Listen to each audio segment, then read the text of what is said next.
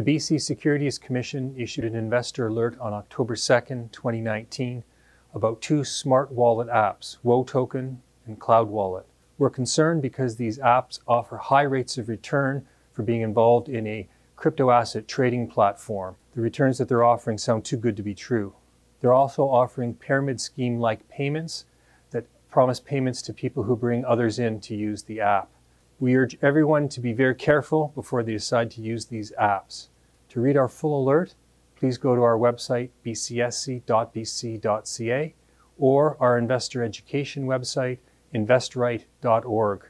If you have any information about WoToken or Cloud Wallet, please contact the BC Securities Commission.